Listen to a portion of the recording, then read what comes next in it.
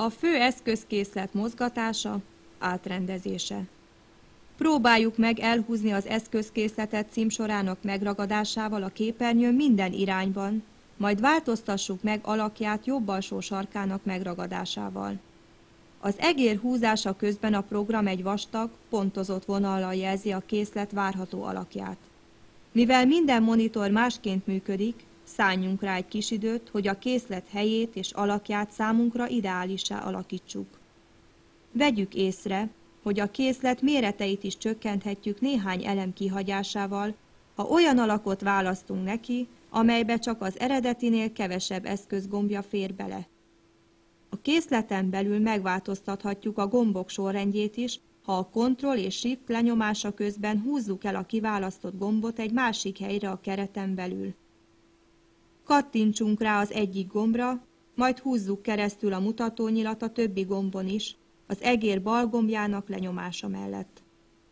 Az emlékeztető sorban mindig annak a gombnak jelentését olvashatjuk le, amelyiken az egérmutató éppen jár.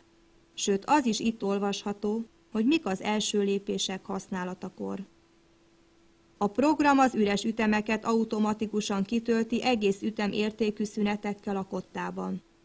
Ezzel időt takaríthatunk meg, de ez a funkció meg is szüntethető.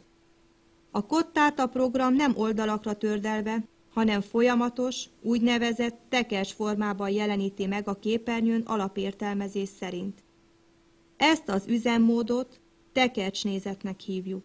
A vízszintes gördítősáv két végén található nyilakra rákattintva mindig egy ütemet ugrik a kotta jobbra vagy balra. Kattintsunk rá a tárgy mozgató eszköz ikonjára.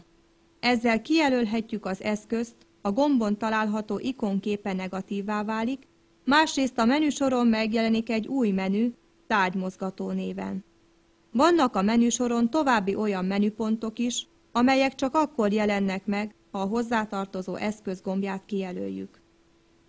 Most, hogy már jól körülnéztünk, fogjunk hozzá mesterművünk megalkotásához. Ha a darab első üteme nem látszik a képernyő bal szélén, a vízszintes gördítősáv bal nyilára addig kattingassunk rá, amíg a kérdéses ütem fel nem tűnik.